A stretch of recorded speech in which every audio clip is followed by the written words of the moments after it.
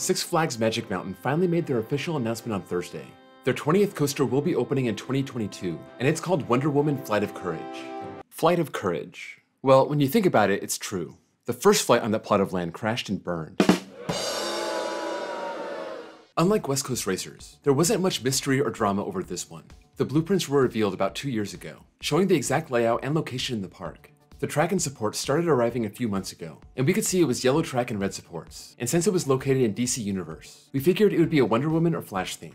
They went with Wonder Woman, no surprise. And it's a near clone of Jersey Devil at Great Adventure, as expected. So yeah, not much drama here.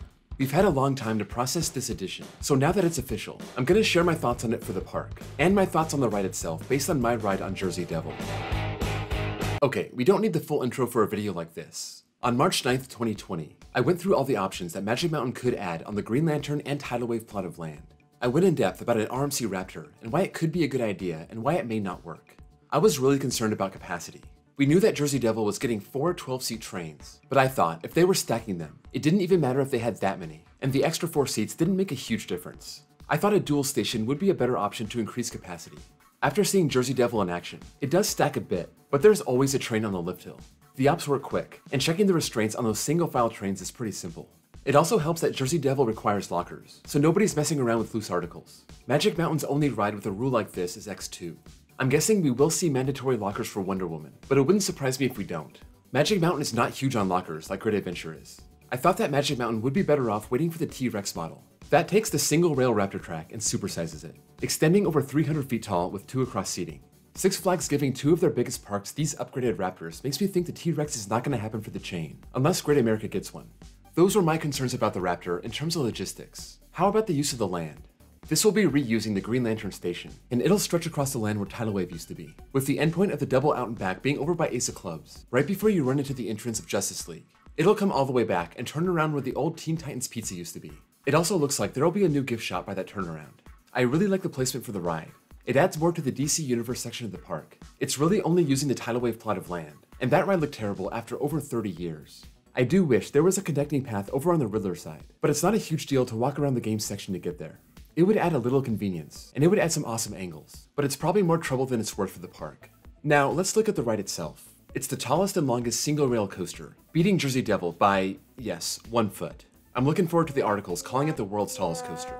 It's also 300 feet longer, mainly thanks to the altered ending.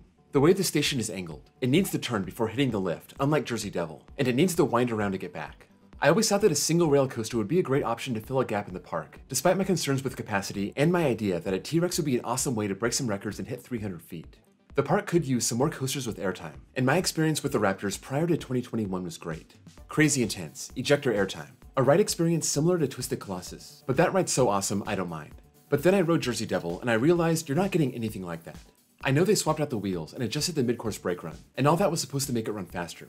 I was there for the new wheels, but not the brake run. It seems like Great Adventure is making a lot of tweaks that Magic Mountain can learn from. I never really talked about Jersey Devil on the channel officially, but I'm doing it now. I thought the ride was lame.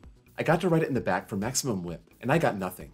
The first drop was okay. The dive loop didn't give much. The airtime hills didn't lift me out of my seat at all, and the best part was probably the stall. I could have ridden again, but I didn't really see the point. I heard it sucks in the morning, but it gets better later on once it warms up. So I didn't think a second ride was going to change anything unless I was able to stay till close, which I wasn't.